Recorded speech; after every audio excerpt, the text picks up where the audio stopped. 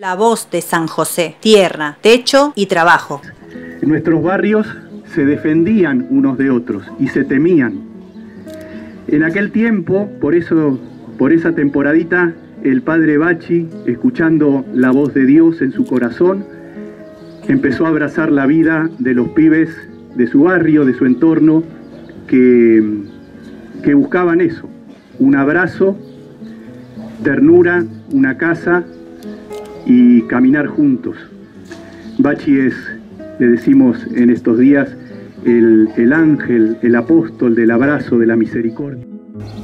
A la Virgen que ella también estuvo buscando lugar y no lo encontraba con Jesús, eh, por estas familias, para que entre todos podamos acompañar esta búsqueda de un lugar, de un lugar, de un lugar digno porque todos necesitamos un techo digno, una mesa donde comer, cama donde duerman nuestros hijos, lugar donde vivir. La voz de San José, tierra, techo y trabajo.